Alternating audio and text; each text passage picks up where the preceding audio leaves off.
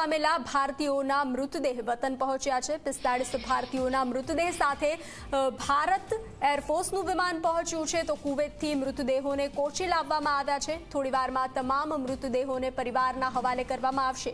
કેરળના મુખ્યમંત્રી પિનરાય વિજય મૃતકોને શ્રદ્ધાંજલિ આપવા પહોંચ્યા હતા. કુવેત અગ્નિકાંડમાં કેરળના ત્રેવીસ નાગરિકોના મૃત્યુ થયા છે.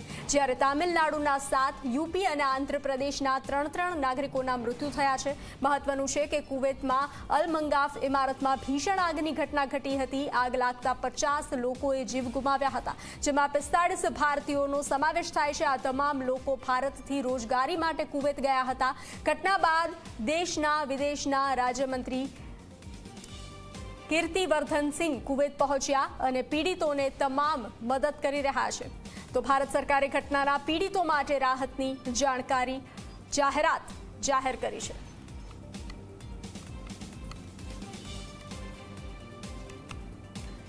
તો કુવેતમાં જે આગની ઘટના સામે આવી હતી. તેમાં પિસ્તાળીસ લોકો, જે ભારતીય પિસ્તાળીસ લોકોના મૃત્યુ થયા છે, તેના પાર્થિવ દેહ જે છે તે ભારત પહોંચી ચૂક્યા છે.